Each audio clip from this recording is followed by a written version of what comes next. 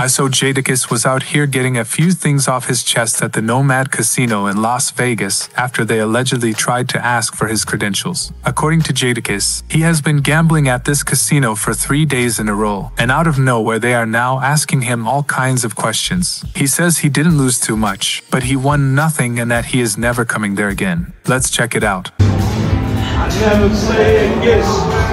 I never play against. You don't gotta. Don't worry about it. We got Good, five man. million. We at five million. Don't Go worry. good. Is you on? Are Yeah, you we good. Go. Don't ever gamble at the Nomad ever again. The last Usher show is tomorrow. I don't know what happened. I've been gambling here since Wednesday. I'm a tax-paying citizen.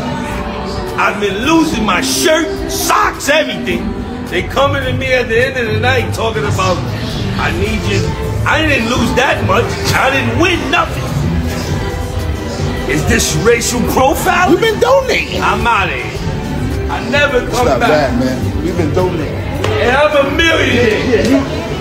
Fuck that. It's okay. No problem. We good. We good. Just know you get something the hour. Never again.